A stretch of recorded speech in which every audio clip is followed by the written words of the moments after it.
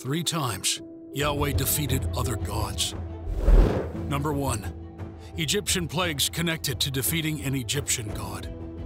In the old days of Egypt, with huge pyramids reaching up high and the Nile River giving life, God showed his amazing power. It was like a big showdown between God and lots of other gods. God showed up to Moses in a bush that was on fire but didn't burn up. God spoke to Moses. Exodus chapter 3, verse 7. The Lord said, I have in fact seen the affliction, suffering, desolation of my people who are in Egypt, and have heard their cry because of their taskmasters, oppressors, for I know their pain and suffering. God told Moses to go back to Egypt to lead the Israelites from slavery to a place full of milk and honey. Moses didn't feel ready and doubted himself. God promised to be with him and show his power. Moses and his brother Aaron then faced Pharaoh and said, Exodus chapter 5, verse 1. After this presentation to Israel's leaders, Moses and Aaron went and spoke to Pharaoh. They told him, This is what the Lord, the God of Israel, says Let my people go so they may hold a festival in my honor in the wilderness. However, Pharaoh said no.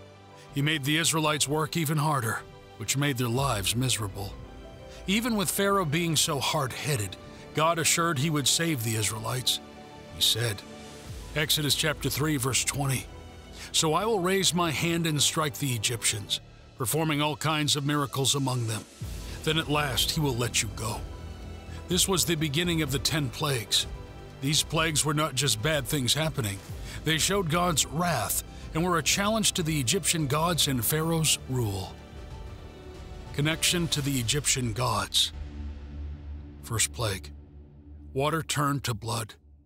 In the story from the Bible, God showed his power over Hapi. Hapi was thought to be the god of the Nile River by the ancient Egyptians. They respected him a lot because they believed he was behind the Nile's flooding every year. This flooding was super important because it made the land by the river very good for growing food. Hapi was seen as more than just a water god, he was also a sign of good luck and wealth. People often pictured him as a man with a big belly, showing he was about abundance, and he was sometimes shown with water plants to show how the Nile could bring life. When God made the Nile River turn into blood, it was a big deal wasn't just a challenge to Hapi, but also hit at the heart of what made Egypt rich and alive. Exodus chapter 7 verses 20 through 21. So Moses and Aaron did just as the Lord had commanded. He lifted his staff in the presence of Pharaoh and his officials and struck the water of the Nile. And all the water was changed into blood. The fish in the Nile died, and the river smelled so bad that the Egyptians couldn't drink its water. Blood was everywhere in Egypt. The story of the first plague of Egypt is a story about how God sent a terrible disaster to Egypt to free the Israelites from slavery. In the land of Egypt, the Israelites were slaves, and Moses was chosen by God to lead them to freedom. But Pharaoh, the ruler of Egypt, refused to let them go. So, God decided to show his power to convince Pharaoh. God told Moses, Exodus chapter 7 verses 15 through 16. Go to Pharaoh in the morning as he is going out to the water, and wait for him on the bank of the Nile. And you shall take in your hand the staff that was turned into a serpent. You shall say to him, The Lord, the God of the Hebrews, has sent me to you, saying, Let my people go, so that they may serve me in the wilderness. But behold, you have not listened until now. But Pharaoh didn't listen. God showed his power through Moses he instructed Moses to use his staff to change the waters of Egypt into blood, including the Nile River and all water sources. This act was to show that the God of Israel was more powerful than any Egyptian god, especially those linked to the Nile. This event was the first of ten plagues God sent to free the Israelites from Egypt.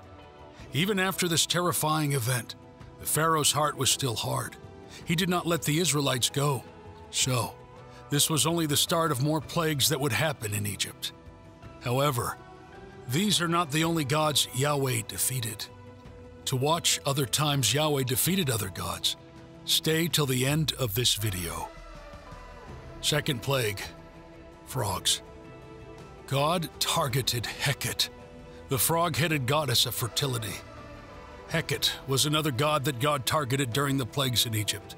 She is usually shown with a frog's head. People thought she was the goddess of having babies and getting pregnant. In Egyptian stories, frogs stood for life and being able to have lots of babies because they'd laid so many eggs. So, Hecate was honored as a sign of life starting and was believed to have special powers to keep women safe and help them when they were giving birth. Now, let's talk about how Hecate is related to the second plague in Egypt. The story of the second plague starts when Pharaoh still refuses to let the Israelite slaves go free. God then instructs Moses to warn Pharaoh of the consequences. Exodus chapter 8, verses 1 through 2. Then the Lord said to Moses, Go to Pharaoh and say to him, Thus says the Lord, Let my people go, so that they may serve me. However, if you refuse to let them go, hear this I am going to strike your entire land with frogs. Aaron, Moses' brother, stretches his hand over the waters of Egypt, and frogs swarm the land. Aaron stretched out his hand over the waters of Egypt, and the frogs came up and covered the land. Exodus chapter 8, verse 6. They thought frogs were lucky because of Hecate, who was all about fertility and blessings. But then, frogs were everywhere, making a mess in their houses and lives. It was like the frogs went from being a sign of good luck to a big problem. This frog disaster showed that the God of the Israelites was way stronger than the Egyptian gods, even in things like fertility that the Egyptians cared about a lot It was a clear message to the Pharaoh and all of Egypt that their gods couldn't stand up to the God of Israel. But even with this huge sign right in front of him, Pharaoh didn't change his mind. He kept being stubborn, and that meant even more trouble was coming their way. The river shall swarm with frogs, and they shall come into your house and into your bedroom and on your bed. Exodus chapter 8, verses 2 through 4. The frogs were everywhere, in houses, bedrooms, on people, in ovens, and even in the kneading bowls used for making bread. It was a massive invasion of frogs, making life very difficult for the Egyptians. Pharaoh, troubled by this plague, called Moses and Aaron and asked them to pray to God to take the frogs away. He promised that he would let the Israelites go if the frogs were removed. The Bible says, And Pharaoh called for Moses and Aaron and said, Entreat the Lord that he may take away the frogs from me and from my people, and I will let the people go, that they may do sacrifice unto the Lord. Exodus chapter 8, verse 8. Moses prayed to God, and God did as Moses asked. The frogs died out in the houses, courtyards, and fields. The Egyptians had to pile up the dead frogs in heaps, and the land smelled terrible. Once the frogs were gone, Pharaoh changed his mind and didn't let the Israelites go. This led to more plagues as a consequence of his stubbornness. This story of the second plague is about how God used natural creatures like frogs in extraordinary numbers to demonstrate his power and to convince Pharaoh to free the Israelites from slavery. Third plague gnats or lice. Geb was an important deity in ancient Egyptian mythology, respected as the god of the earth. He was often depicted as a man lying beneath the sky goddess representing the earth. Geb was not just the god of the physical earth, but also had a role in agriculture, fertility, and the underworld. He was seen as a father figure to plants and crops, and it was believed that earthquakes were his laughter. Now, relating Geb to the third plague of Egypt from the Bible, we see a significant connection. The third plague directly confronts Geb's domain. God had Moses and Aaron go talk to Pharaoh again, but Pharaoh was still being stubborn. So, God had a new plan that was all about showing Geb who's really in charge. God told Moses to have Aaron hit the ground with his stick. Aaron did just that, and wow, something amazing happened. Then the Lord said to Moses, Say to Aaron, Stretch out your staff and strike the dust of the ground, and it will become biting gnats, lice, throughout the land of Egypt. They did so. Aaron stretched out his hand and with his staff and struck the dust of the earth, And there were biting gnats on man and animal. All the dust of the land became gnats through all the land of Egypt. Exodus chapter 8, verses 16 through 17. When Aaron strikes the ground, the dust transforms into gnats or lice. The sudden change from dust to swarming insects is a direct challenge to Geb. It shows that the God of Israel has power over the earth, which is Geb's realm, turning it into a source of discomfort instead of life and growth. Egyptian magicians, who could mimic the previous plagues, try to produce gnats themselves but fail. Realizing the magnitude of what has happened, they say to Pharaoh, This is the finger of God. Exodus chapter 8 verse 19. However, Pharaoh's heart remains hardened, and he does not heed their words or the sign of power from the God of Israel.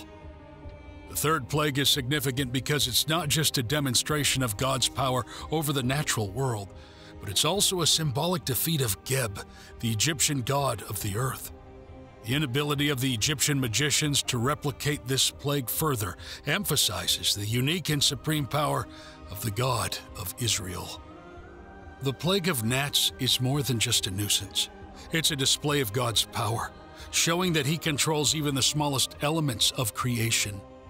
The Egyptians, who worship many gods, are shown that their gods are powerless against the God of Israel. Fourth plague Flies. Khepri is an ancient Egyptian god often associated with creation, the movement of the sun and rebirth. His name is linked to the Egyptian word kheper, meaning to develop or to come into being. Khepri is usually depicted as a scarab beetle or as a man with a scarab for a head, symbolizing creation and rebirth. In Egyptian mythology, scarab beetles roll dung into balls from which they emerge, symbolizing new life and regeneration. Khepri was believed to roll the sun across the sky each day expressing the idea of the rising sun and renewal each morning. Now, relating Khepri to the fourth plague of Egypt. The fourth plague, described in the Bible in the book of Exodus, involves a swarm of flies. This plague came after Pharaoh again refused to let the Israelite people go. The story begins with God instructing Moses to rise early in the morning, confront Pharaoh, and warn him of the coming plague. And the Lord said unto Moses, Rise up early in the morning and stand before Pharaoh. Lo, he cometh forth to the water, and say unto him, Thus saith the Lord, Let my people go, that they may serve me. Else, if thou wilt not let my people go, behold, I will send swarms of flies upon thee, and upon thy servants, and upon thy people, and into thy houses. And the houses of the Egyptians shall be full of swarms of flies, and also the ground whereon they are. Exodus chapter 8, verses 20 through 21. Unlike the previous plagues, where the Israelites in the land of Goshen also suffered, this time God makes a distinction. The land of Goshen, where the Israelites live, is spared, emphasizing that God is protecting his people. This distinction is significant and is highlighted in Exodus chapter 8, verses 22 through 23. And I were set apart on that day, the land of Goshen, in which my people dwell, so that no swarms of flies will be there, in order that you may know that I, the Lord, am in the midst of the land. I will put a division, distinction between my people and your people. By tomorrow the sign shall occur. Exodus chapter 8, verses 22 through 23. The plague of flies is a direct challenge to the Egyptian god Khepri. By sending a plague of flies, God is showing his power over Khepri, the god of creation and rebirth, symbolized by the scarab beetle. The swarm of flies, a pest and a nuisance, stands in stark contrast to the revered scarab, undermining the power and authority of Khepri in the eyes of the Egyptians. Despite the seriousness of the plague, Pharaoh's heart remains hardened, and he continues to refuse to let the Israelite people go. Then God did what he said he would he sent a huge number of flies all over Egypt. These flies were everywhere in houses, on people, and all over the land. It was terrible for the Egyptians, but interestingly, the area where the Israelites lived, Goshen, had no flies at all. This showed that God was protecting his people. Pharaoh, troubled by this plague, called Moses and Aaron. He said, Go, sacrifice to your God here in the land. Then Pharaoh called for Moses and Aaron and said, Go, Sacrifice to your God here in the land of Egypt. Exodus chapter 8 verse 25. But Moses said it wasn't right to do that in Egypt. So Pharaoh agreed to let the Israelites go into the wilderness to offer sacrifices to their God. However, he asked Moses to pray for the removal of the flies first. Moses prayed to God, and God removed the flies from Egypt. But once the flies were gone, Pharaoh changed his mind again and didn't let the Israelites go. This story from the Bible shows how God was trying to help the Israelites and prove his power to the Egyptians, while Pharaoh kept resisting. Fifth plague Death of livestock. God targeted Hathor, goddess of love and protection, often depicted as a cow. Hathor is a significant deity in ancient Egyptian mythology, known as the goddess of love, beauty, music, and protection. She was a woman with the head of a cow, or a woman wearing a headdress of cow horns and a sun disk. This imagery symbolizes fertility, motherhood, and the nurturing aspects of nature. Hathor was respected not only as a protective goddess, but also as one representing joy and feminine love.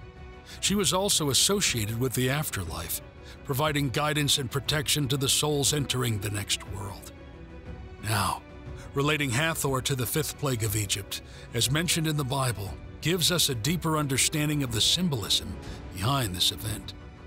In this stage of the story, God continues to demand through Moses that Pharaoh release the Israelites from slavery. When Pharaoh refuses, God warns of a severe consequence, a plague that will specifically target the livestock of Egypt. God causes a severe disease to affect all the livestock of the Egyptians. This includes horses, donkeys, camels, cattle, sheep, and goats. They all die from the disease.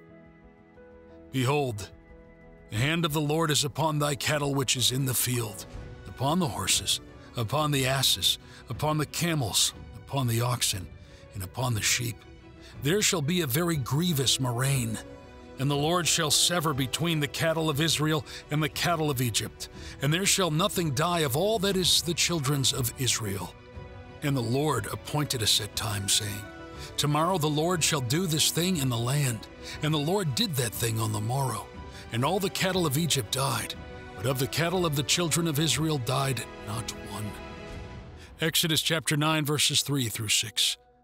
The death of the livestock was a significant blow to the Egyptian economy and daily life, as these animals were essential for labor, transportation, and agricultural processes. Symbolically, targeting the cattle was a direct challenge to Hathor, the cow goddess, showing the supremacy of the God of Israel over the Egyptian deities. Despite the adverse effect of the plague and its impact on Egypt, Pharaoh's heart remains hardened. He still refuses to let the Israelites go setting the stage for more plagues to follow. In this context, the fifth plague is not just a physical calamity, but also a symbolic act, demonstrating the powerlessness of Egyptian gods like Hathor in the face of the God of Israel's might.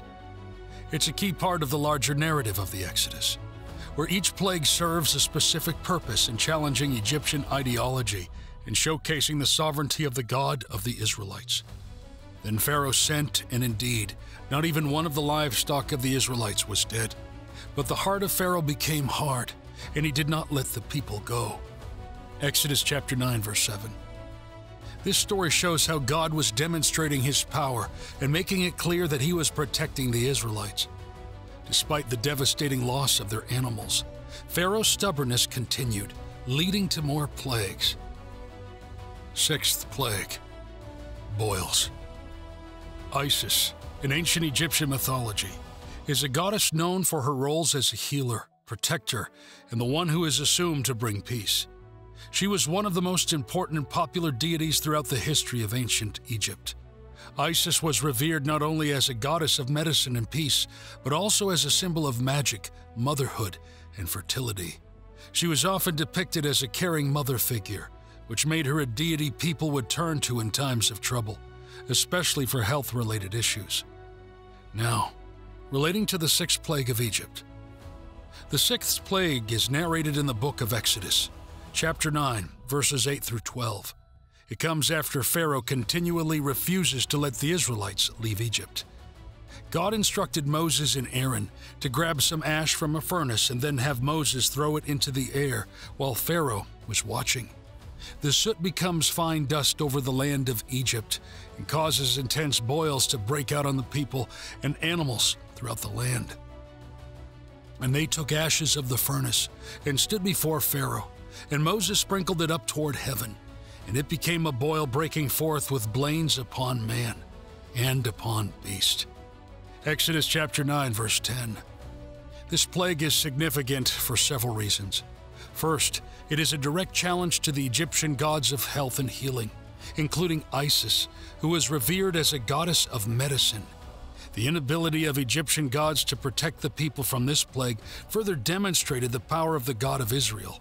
Second, it's notable that even the Egyptian magicians, who had tried to replicate previous plagues, were afflicted by the boils and could not stand before Moses because of them, as mentioned in Exodus chapter 9 verse 11. Despite this terrible plague, Pharaoh's heart remained hard, and he still refused to let the Israelites go. This was part of God's plans to show his power and make his name known in Egypt. The sixth plague, like the other plagues, serves to illustrate the power of God and the futility of opposing his will, as well as the specific challenge to the Egyptian gods, including Isis, in her role as a healer. Seventh plague Hail. Nut is a key figure in ancient Egyptian mythology. Known as the goddess of the sky, she is often depicted as a woman arching over the earth, representing the sky. Nut is considered the mother of the sun, moon, and stars, literally embodying the heavens. Her body was thought to create a protective barrier over the earth. Each morning, Nut gave birth to the sun, which would then travel across her body during the day before being swallowed at sunset, and then reborn the next morning. This imagery reflects the Egyptians' understanding of the day and night cycle. Nut was also seen as a mother figure to several other gods in Egyptian mythology, including Osiris, Isis, Set, and Nephthys. Her role as a mother to both the celestial bodies and significant deities emphasizes her importance in the Egyptian pantheon. Now, introducing the seventh plague of Egypt in the context of Nut. The seventh plague, as described in the Bible in the book of Exodus, is a direct challenge to Nut's domain.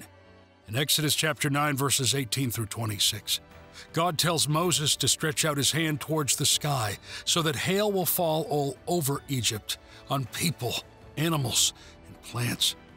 Before this plague happened, God warned Pharaoh through Moses Moses told Pharaoh what would happen if he didn't let the Israelites go. This passage reads Behold, tomorrow about this time I will cause it to rain a very grievous hail, such as hath not been in Egypt since the foundation thereof, even until now. Exodus chapter 9, verse 18.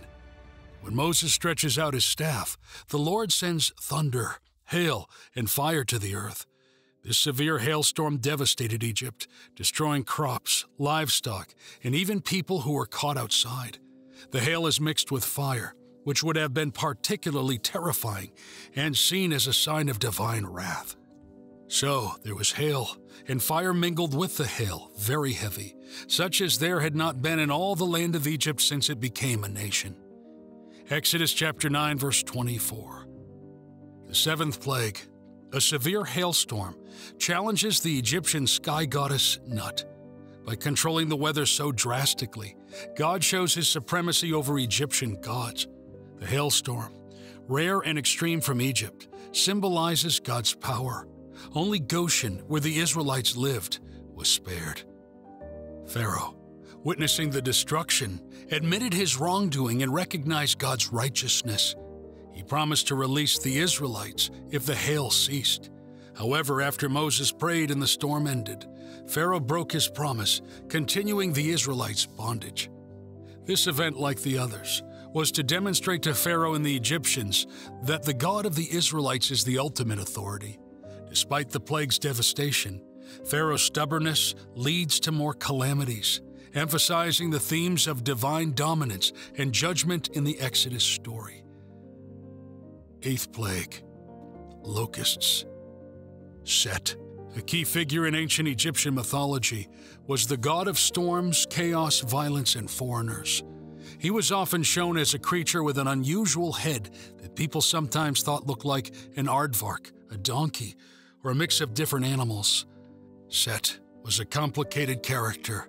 Even though he was linked to chaos, and even as a bad guy, especially when fighting with the god Horus, Set also had a protective side. He was called the Lord of the Desert and was praised for his strength in battles and for protecting the sun god Ra from the snake Apophis during Ra's night journey. When we talk about the biblical plagues in Egypt, Set's role as the god of storms becomes very important with the eighth plague. Bible, in the book of Exodus, tells us that the eighth plague brought a huge swarm of locusts.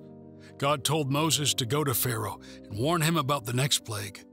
Moses said to Pharaoh, How long will you refuse to humble yourself before me? Let my people go so that they may worship me. Exodus chapter 10, verse 3. Moses told Pharaoh that if he didn't let the Israelites leave, God would send a huge swarm of locusts. These locusts would eat up all the plants and trees that had survived the earlier disasters. Pharaoh's advisors, who were really worried after seeing how bad the earlier plagues were, told him he should just let the Israelites go. But Pharaoh only wanted to let the men go.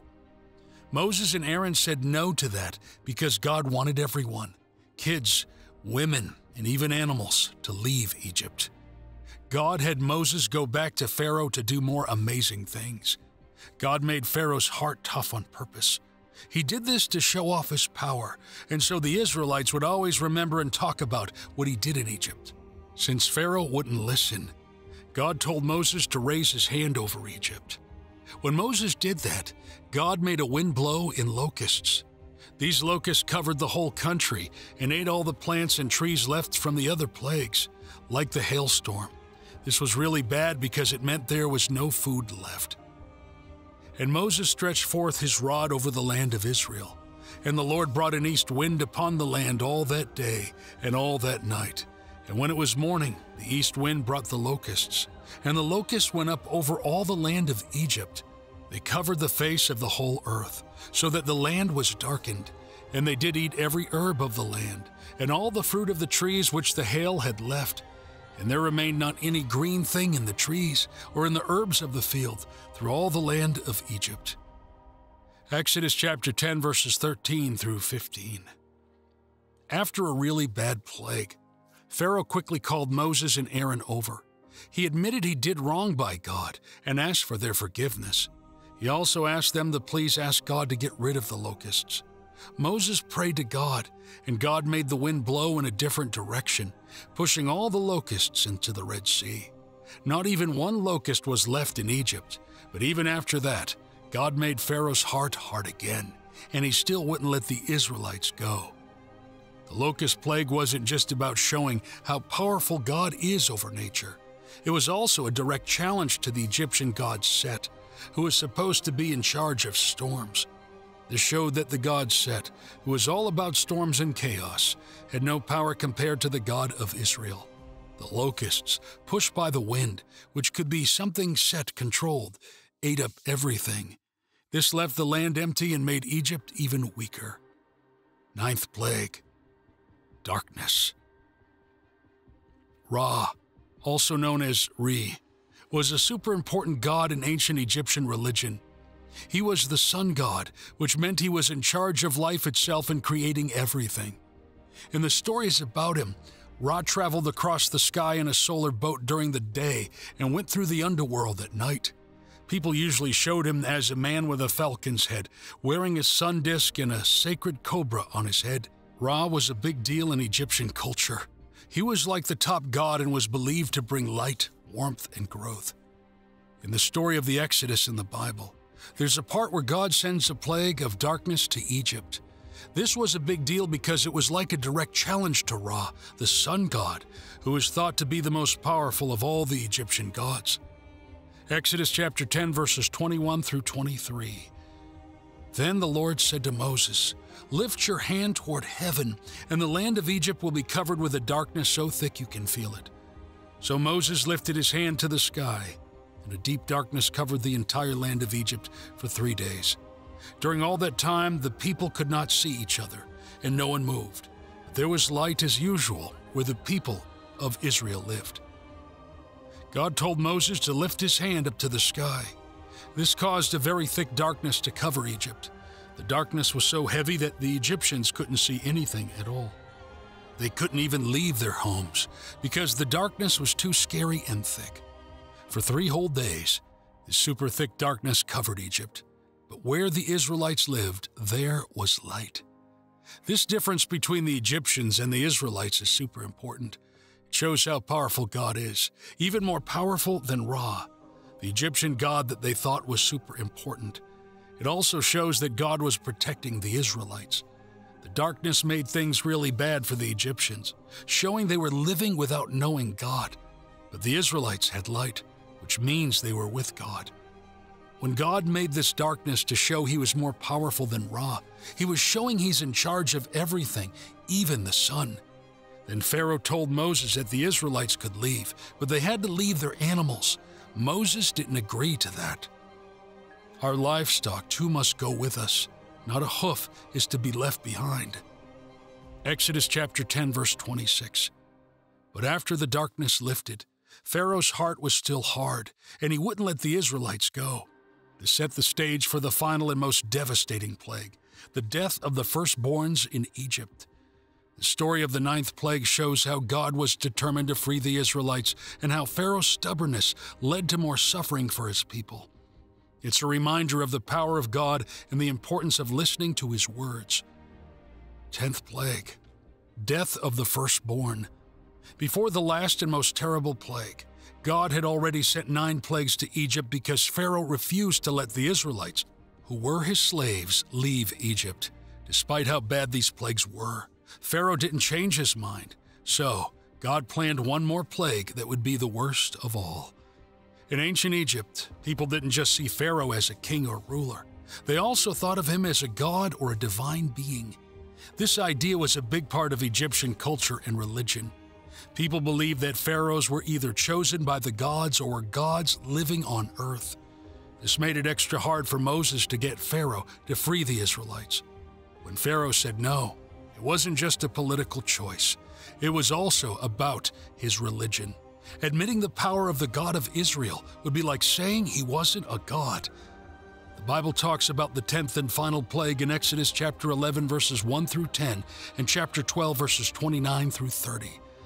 This plague was the saddest and most severe, causing the death of the firstborn in every Egyptian family, even Pharaoh's own child. Pharaoh was seen as a god, so this was a huge deal. The Bible gives details on this event and what God told Moses to do. God tells Moses about the final plague that will compel Pharaoh to release the Israelites. Moses said, Thus says the Lord, about midnight I will go out in the midst of Egypt, and every firstborn in the land of Egypt shall die, from the firstborn of Pharaoh who sits on his throne, even to the firstborn of the slave girl who is behind the handmill, and all the firstborn of the cattle. Exodus chapter 11, verses 4 through 6. Before the plague, God instructs the Israelites to mark their doorposts with lamb's blood. This act would protect them from the coming disaster, as God would pass over their homes and spare their firstborn. This event is known as the Passover, a significant Jewish holiday commemorating this event and the liberation of the Israelites. At midnight, the tenth plague strikes Egypt. Every Egyptian firstborn, from the highest in the royal palace to the lowest in the prison, dies. There was a loud wailing in Egypt because there wasn't a house without someone dead, including the house of Pharaoh. Exodus chapter 12, verses 29 through 30, describes this moment. At midnight, the Lord struck down all the firstborn in the land of Egypt, from the firstborn of Pharaoh, who sat on his throne, to the firstborn of the captive who was in the dungeon, and all the firstborn of their livestock. And Pharaoh rose up in the night, he and all his servants and all the Egyptians. And there was a great cry in Egypt, for there was not a house where someone was not dead. The death caused by the last plague was so terrible that it finally made Pharaoh give up. Feeling very sad and scared, Pharaoh called Moses and Aaron in the middle of the night. He told them to take the Israelites and leave Egypt. He even asked them to give him a blessing as they went away. Exodus chapter 12, verses 31 through 32. The Israelites quickly packed up their things and left Egypt. This moment was the start of their journey to freedom. Jewish people all over the world remember this event during the Passover festival.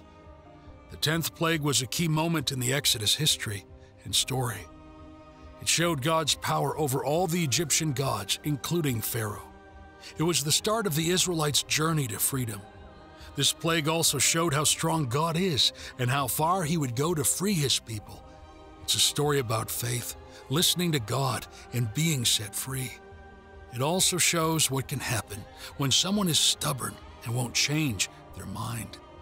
In each plague, the story in the Bible shows how the God of Israel was more powerful than the Egyptian gods.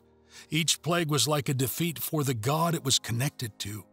In the end, the ten plagues weren't just punishments, they were a way to show that the God of Israel was much more powerful than the Egyptian gods. Turning the Nile into blood was a challenge to the Nile god. Frogs challenged the fertility goddess Heket, and darkness went against the sun god Ra. Each plague was aimed at a different god, breaking down the Egyptians' belief in their gods one by one. The last plague, the death of the firstborn, was a direct challenge to Pharaoh's status as a god. Through these plagues, God showed he was the only true power. This led to the Israelites being freed. The story highlights God's power, the importance of faith, and how the true God wins over made up gods. Number two, God defeats Baal. The rumble on Carmel. 1 Kings chapter 16 verse 30. Ahab, the son of Omri, did evil in the sight of the Lord more than all the kings who were before him. Allow me to introduce you to the three main characters in this incredible Bible story. The first is Ahab, the king of Israel who did more evil than all the previous kings combined. The second character is Jezebel, Ahab's wife. She decided to replace the Lord God's worship with the sex cult worship of Baal. Baal was the name of the god who was worshipped through Canaan and Phoenicia in ancient times. During the Judges period, the practice of Baal worship entered Jewish religious life.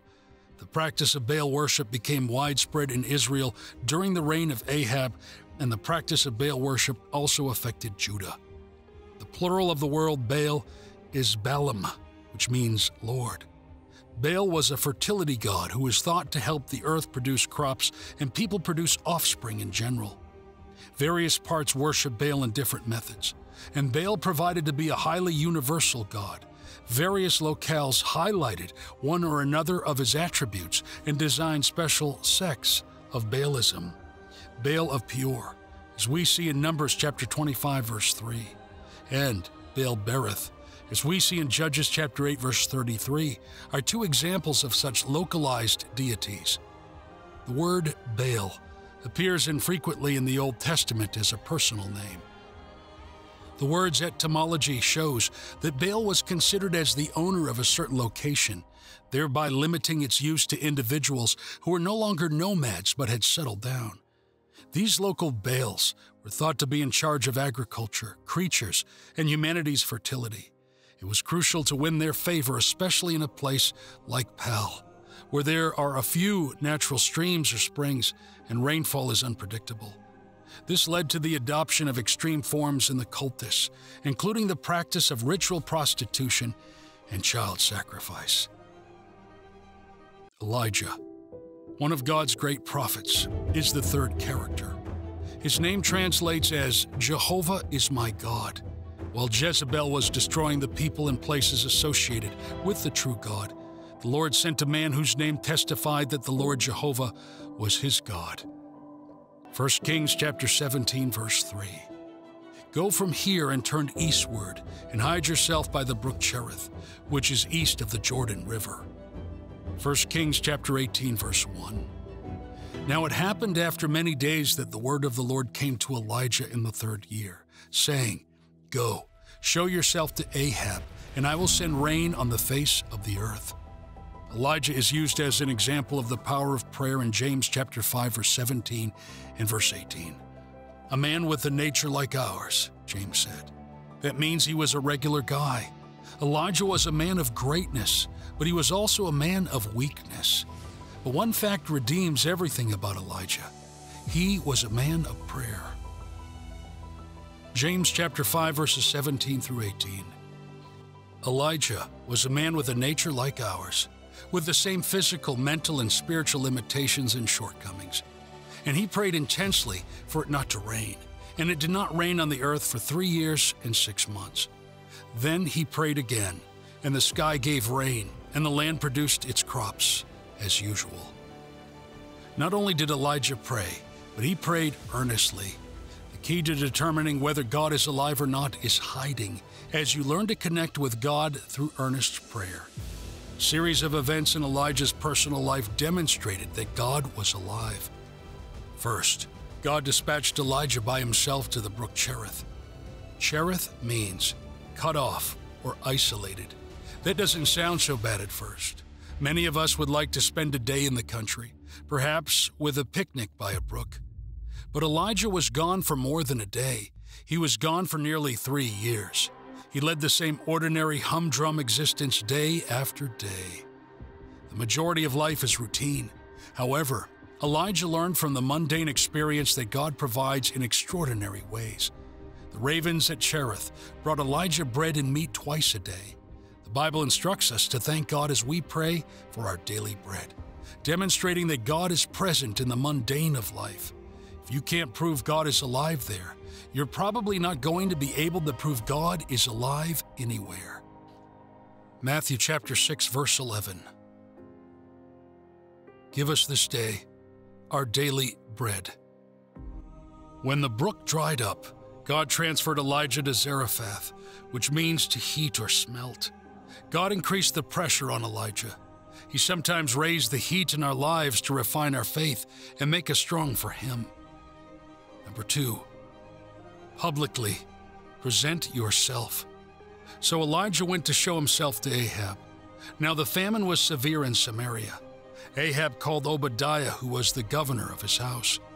Now Obadiah feared the Lord greatly, for when Jezebel destroyed the prophets of the Lord, Obadiah took a hundred prophets and hid them by fifties in a cave, and provided them with bread and water. Then Ahab said to Obadiah, Go into the land to all the sources of water and to all the streams. Perhaps we may find grass and keep the horses and mules alive, and not have to kill some of the cattle. So they divided the land between them to survey it. Ahab went one way by himself, and Obadiah went another way by himself. As Obadiah was on the way, behold, Elijah met him. He recognized him and fell face downward, out of respect, and said, Is it you, my lord Elijah? He answered him, It is I. Go tell your master, Elijah is here. But he said, What sin have I committed that you would hand over your servant to Ahab to put me to death? As the Lord your God lives, there is no nation or kingdom where my master has not sent messengers to seek you.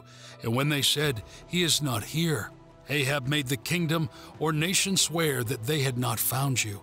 And now you are saying, Go tell your master, Behold, Elijah is here. And as soon as I leave you, the Spirit of the Lord will carry you to a place I do not know. So, when I come to tell Ahab and he does not find you, he will kill me. Yet your servant has reverently feared the Lord from my youth. Has it not been told to my lord Elijah what I did when Jezebel killed the prophets of the Lord? How I hid a hundred of the Lord's prophets by fifties in a cave and provided them with bread and water.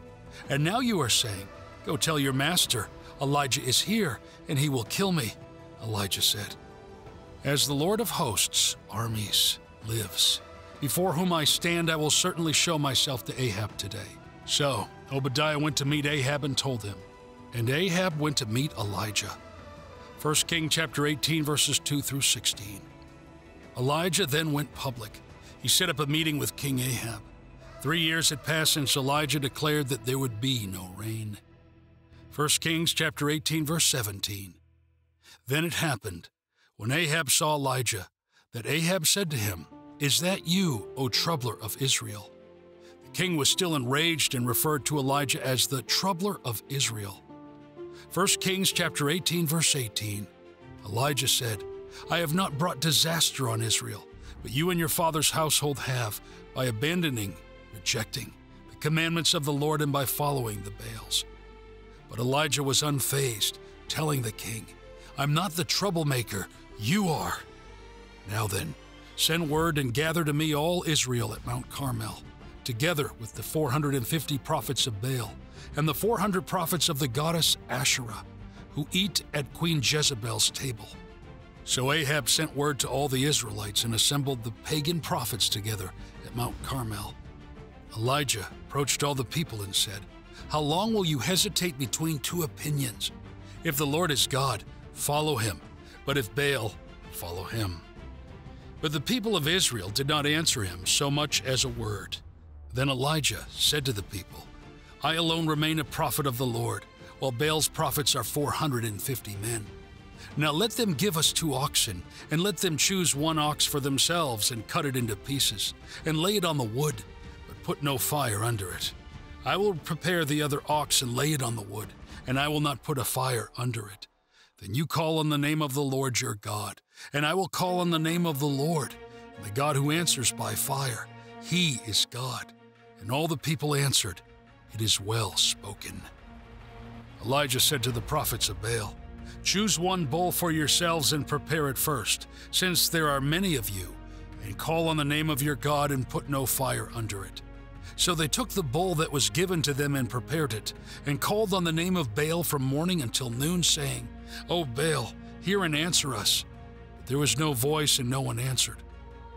And they leaped about the altar which they had made. At noon, Elijah mocked them, saying, Cry out with a loud voice, for he is a god. Either he is occupied, or he is out at the moment, or he is on a journey. Perhaps he is asleep and must be awakened. So they cried out with a loud voice to get Baal's attention, and cut themselves with swords and lances in accordance with their custom, until the blood flowed out on them. As midday passed, they played the part of prophets and raved dramatically until the time for offering the evening sacrifice. But there was no voice, no one answered, and no one paid attention. Then Elijah said to all the people, Come near to me. So all the people approached him, and he repaired and rebuilt the old altar of the Lord that had been torn down by Jezebel. Then Elijah took twelve stones in accordance with the number of the tribes of the sons of Jacob, to whom the word of the Lord had come, saying, Israel shall be your name. So with the stones Elijah built an altar in the name of the Lord. He made a trench around the altar large enough to hold two measures of seed. Then he laid out the wood and cut the ox in pieces and laid it on the wood. And he said, Fill four pitchers with water and pour it on the burnt offering and the wood. And he said, Do it the second time. And they did it the second time. And he said, Do it the third time. And they did it a third time. The water flowed around the altar, and he also filled the trench with water. At the time of the offering of the evening sacrifice, Elijah the prophet approached the altar and said, O Lord, the God of Abraham, Isaac, and Israel, Jacob, let it be known today that you are God in Israel, and that I am your servant, and that I have done all these things at your word. Answer me, O Lord, answer me, so that this people may know that you, O Lord, are God, and that you have turned their hearts back to you. And the fire of the Lord fell and consumed the burnt offering and the wood, and even the stones and the dust. It also licked up the water in the trench. and all the people saw it, they fell face downward and they said, The Lord, He is God. Lord, He is God. Then Elijah said to them, Seize the prophets of Baal, do not let one of them escape. They seized them, and Elijah brought them down to the brook of Kishon, and, as God's law required, kill them there. 1 Kings chapter 18 verses 19 through 40. The stage was set for a showdown on Mount Carmel between 850 Baal prophets and one God prophet. How long will you waver between two opinions? Elijah challenged the audience. If the Lord is God, follow him. If Baal is God, follow him. Here was Elijah's dare. Let's have a competition. Let the God who is God respond with fire from heaven. This was a reasonable test. Baal, the storm god, should be able to send down some lightning. Elijah gave them every advantage before mocking their futile efforts. Baal's prophets spent hours pleading, shouting, and cutting themselves, but he didn't respond. Then Elijah prepared the sacrifice before asking God to show the people his glory. Fire fell and consumed the sacrifice, the water, and the altar as soon as he said his prayer. People fell to their knees yelling, The Lord, He is God! The Lord is God! They couldn't help but notice that God was alive and well. 1 Kings chapter 18 verses 42 through 46. So Ahab went up to eat and to drink, and Elijah went up to the top of Carmel. And he crouched down to the earth and put his face between his knees. And he said to his servant, Go up, look toward the sea. So he went up and looked and said, There is nothing. Elijah said, Go back seven times. And at the seventh time the servant said, A cloud as small as a man's hand is coming up from the sea. And Elijah said, Go up, say to Ahab, Prepare your chariot and go down, so that the rain shower does not stop you. In a little while the sky grew dark with clouds and wind, and there were heavy showers. And Ahab mounted and rode his chariot, and went inland to Jezreel. Then the hand of the Lord came upon Elijah, giving him supernatural strength. He girded up his loins and outran Ahab to the entrance of Jezreel, nearly 20 miles. But the Lord wasn't done yet. He reactivated the rain spigot. Elijah prayed seven times in a row before the rain began to fall. Elijah, drenched, dashed down the mountain. He demonstrated that God is alive and well. God is alive and well. You can demonstrate it both privately and publicly in your life. Number three, God defeats Dagon. Yahweh defeated Dagon. It involved the Ark of the Covenant. The Ark of the Covenant represented a key symbol of the Jewish faith and God's presence among them. Inside the ark were the stone tablets of the Mosaic Law, a jar of manna, and Aaron's staff. The sacred chest has its origins in Exodus, where God expressed a desire to dwell among the people of Israel. No one could touch God's holy mountain and survive, leading Moses to construct a barrier at its base. The giving of the law was marked by thunder, lightning, and flames, underscoring God's immense power and his distinction from humanity. Yet, Despite emphasizing his transcendence, God instructed Moses to create a space for him to reside within their encampment, indicating his wish to be at the heart of his people's lives. For its transportation, the ark was designed with four golden rings, two on each side. Poles made of acacia wood were slid through these rings to carry the ark. These carrying poles were intended to be a permanent addition to the ark, always remaining in their slots. The name Ark of the Covenant stems from the covenant represented by the commandments on the tablets. Moreover, the Ark was central to several significant events. For instance, it safeguarded the Israelites as they entered the Promised Land via the Jordan River and played a pivotal role in the victory at Jericho, as detailed in the book of Joshua. In the story found in the book of Samuel, the ark falls into Philistine hands, leading to a perception among both the Israelites and the Philistines that God could be captured by the enemies of Israel. This occurred after Israel faced defeat in an initial encounter with the Philistines, resulting in the loss of around 4,000 lives. 1 Samuel chapter 4 verses 1 through 2. And the word of the Lord through Samuel came to all Israel now Israel went out to meet the Philistines in battle, and they camped beside Ebenezer when the Philistines camped at Aphek. The Philistines assembled in battle formation to meet Israel, and when the battle was over, Israel was defeated by the Philistines, who killed about 4,000 men on the battlefield. The Israelites find themselves puzzled by their recent defeat, deducing that their misfortune was due to not bringing the Ark of God into battle viewing it as a sort of powerful talisman that could ensure their victory. With renewed confidence, they engage in battle once more. Meanwhile, the Philistines, though initially terrified by the prospect of facing the ark, confront the Israelites, fearing defeat or death. Contrary to their hopes, this battle results in an even more devastating loss for the Israelites, with 30,000 of their foot soldiers perishing, including the two priests, Hophni and Phinehas. To the human eye, it seems as though the Philistines have managed to capture God Himself, turning the tables on the Israelites. The Philistines and the God in the hands of God. 1 Samuel chapter 5 verses 1 through 5. Then the Philistines took the ark of God, and they brought it from Ebenezer to Ashdod. They took the ark of God and brought it into the house of Dagon and set it beside the image of Dagon, their chief idol. When the people of Ashdod got up early the next day, behold, Dagon had fallen on his face on the ground before the ark of the Lord. So they took Dagon and returned him to his place.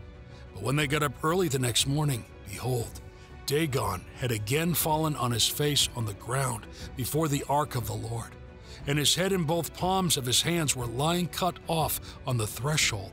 Only the trunk portion of the idol of Dagon was left on him. This is the reason neither the priests of Dagon nor any who enter Dagon's house step on the threshold of Dagon and Ashdod to this day. It's easy to picture the intense excitement and joyous celebrations among the Philistines as they take the Ark of God from Ebenezer to Ashdod, one of their five main cities. In their view, beating the Israelites and seizing the Ark equaled defeating God Himself. They likely brought the Ark into the temple of Dagon one of their chief gods, with great pomp. There, in a spot meant to show it was lesser than Dagon, the Ark of God was placed. To the Philistines, it seemed as if Dagon had triumphed over the God of Israel, just as they had triumphed over the Israelites. But they were about to experience a startling surprise the very next morning. Troubled by tumors. 1 Samuel chapter 5 verses 6 through 12. Then the hand of the Lord was heavy on the people of Ashdod, and he caused them to be dumbfounded and struck them with tumors, both Ashdod and its territory. When the men of Ashdod saw what had happened, they said, The ark of the God of Israel must not remain with us, for his hand is heavy on us and on Dagon our God. So they sent word and gathered all the lords, governors of the Philistines to them and said, What shall we do with the ark of the God of Israel? They answered, let the ark of the God of Israel be brought about to Gath. So they took the ark of the God of Israel there. But it happened that after they had taken it to Gath, the hand of the Lord was against the city, causing an extremely great panic because of the deaths from the plague. For he struck the people of the city, both young and old, and tumors broke out on them. So they sent the ark of God to Ekron. And as the ark of God came to Ekron, the Ekronites cried out, they have brought the ark of the God of Israel from Gath to us, to kill us and our people. So they sent word and gathered all the lords of the Philistines and said, Send away the ark of the God of Israel. Let it be returned to its own place, so that it will not kill us and our people. For there was a deadly panic throughout the city. The hand of God was very heavy, severe there. The men who had not died were stricken with tumors, and the cry of the city for help went up to heaven. In the temple of Dagon, God demonstrates to the Philistines that their deity is powerless before him. Now, God turns his attention to the Philistines themselves, challenging their perceived victory. The statue of Dagon is found with its hands broken off, a clear sign that the hand of God was at work. The presence of the ark in Ashdod brings a severe plague upon the city and its vicinity, showcasing the heavy hand of God upon them. The nature of this plague is not specified, but it's evident the Philistines are desperate to be free of it. Acknowledging that the affliction in Ashdod is a direct result of housing the Ark of God, the Philistine leaders decide to pass their problem to Gath, another of their cities. Predictably, the plague strikes Gath following the Ark's arrival. The decision is then made to send the Ark to Ekron, but the people of Ekron resist, understanding all too well the calamity that follows the Ark. The situation reminds me of a child playing old maid, desperately not wanting to be stuck with the unwelcomed card. Ekron's rejection of the Ark signals that no Philistine city is willing to host it, leading to its return to Israel without any need for military or diplomatic efforts, seven months after its capture. The Philistines clearly recognize that the plagues affecting their cities are the result of the Ark's presence, understanding it as divine judgment against them in Dagon. However, their response is not to renounce their idol worship or to turn to the God of Israel. Instead, their solution is simply to remove the source of their troubles, wanting God and His ark out of their cities, putting the ark in its place. 1 Samuel chapter 6. Now the ark of the Lord had been in the country of the Philistines for seven months. And the Philistines called for the priests and the diviners, seers, saying, What shall we do with the ark of the Lord? Let us know how we can send it back to its place. They said, If you send away the ark of the God of Israel, do not send it empty without a gift, but be sure to return it to him together with a guilt offering. Then you will be healed, and it will be known to you why his hand is not removed from you. Then they said, What shall the guilt offering be which we shall return to him? They answered, Five golden tumors and five golden mice, according to the number of the Lord's governors of the Philistines. For one plague was on all of you and on your lords. So you shall make replicas of your tumors and of your mice that ravage the land. And give glory to the God of Israel. Perhaps he will lighten his hand of judgment on you and your gods and your land. Why then do you harden your hearts, allowing pride to cause your downfall, just as the Egyptians and Pharaoh hardened their hearts, when he had severely dealt with them and mocked them? Did they not allow the people of Israel to go, and they departed? Now then, make a new cart and prepare two milk cows on which a yoke has never been placed, and hitch the cows to the cart and take their calves back home, away from them. Then take the ark of the Lord and put it on the cart, and put the articles of gold which you are returning to him as a guilt offering in a box beside it. Then send it away without a driver. But watch, if it goes up by the way of its own territory to Beth Shemesh, then you will know that he has done us this great evil. But if not, then we will know that it was not his hand that struck us. This disaster happened to us by chance. And the men did so, and took two milk cows and hitched them to the cart, and corralled their calves at home. They put the ark of the Lord on the cart, and the box containing the golden mice and the replicas of their tumors. And the cows went straight toward Beth Shemesh along the highway, lowing as they went, and did not turn away to the right or to the left. And the Philistine lords, governors, followed them to the border of Beth Shemesh. Now the men of Beth Shemesh were gathering their wheat harvest in the valley, and they looked up and saw the ark and rejoiced to see it. The cart came into the field of Joshua of Beth Shemesh and stopped there.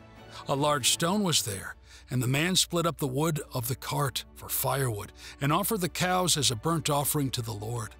The Levites had taken down the ark of the Lord and the box beside it, in which were the articles of gold, and put them on the large stone. And the men of Beth Shemesh offered burnt offerings and made sacrifices that day to the Lord. When the five lords of the Philistines saw what had happened, they returned to Ekron that day. These are the golden tumors which the Philistines returned as a guilt offering to the Lord one for Ashdod, one for Gaza, one for Ashkelon, one for Gath, and one for Ekron, the five chief cities of the Philistines. Also the golden mice, according to the number of all the cities of the Philistines belonging to the five lords, both fortified cities and unwalled country villages. The large stone on which the Levites set the ark of the Lord remains a witness to this day in the field of Joshua of Beth Shemesh. The Lord struck down some of the men of Beth Shemesh because they had looked into the ark of the Lord. He struck down 50,070 men among the people, and the people mourned because the Lord had struck the people with a great slaughter. The men of Beth Shemesh said, Who is able to stand before the Lord, this holy God? And to whom shall he go up from us? So they sent messengers to the residents of Kiriath Jearim, saying, The Philistines have returned to the ark of the Lord. Come down and take it up to you. So the men of Kiriath Jearim came and took up the ark of the Lord and brought it into the house of Abinadab on the hill. And they consecrated Eleazar, his son, to care for the ark of the Lord. And from that day the ark remained in Kiriath Jearim for a very long time. For it was twenty years until the reign of King David, and all the house of Israel lamented, wailed, and grieved after the Lord. For seven months, the ark of the Lord seems to be in captivity, during which time the Philistines suffer greatly from the severe judgments of God. Finally, it becomes evident that the only viable solution is to send the ark back to Israel. The pressing issue becomes how? initially treated as a political concern and shuffled among the Philistine cities in chapter 5. The ark's presence proves too burdensome for any to bear. Now recognized as a religious dilemma, the Philistine priests are consulted on the proper method to return the ark without further provoking the wrath of the God of Israel. In seven short months, the Philistines had gained a good fear of the ark.